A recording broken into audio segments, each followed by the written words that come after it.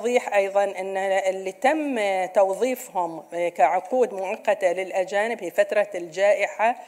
كان يفترض أنهم مدتهم لفترة وينتهي لكن لما شفنا زيادة الأعداد اضطرينا أن إحنا يستمرون وإن شاء الله نأمل أن مع هذه السنة ينتهي تنتهي كل عقودهم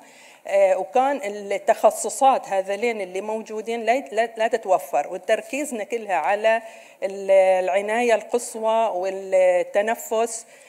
سواء إحنا عندنا من الاستشاريين كأطباء أو التمريض اللي ما موجود يمكن ذكرناه في سابق أحد الأسئلة إن هذولين هم متخصصين في مجالات لا تتوفر لدى البحريني. وهذولين إن شاء الله إحنا نأمل يعني والبوادر انتهاء الجائحة إن شاء الله قريبة وراح تنتهي كل عقودهم. وهذولين جايين عشان في على ميزانية خارج ميزانية مثل ما ذكرنا وزارة الصحة هي ميزانية الجائحة.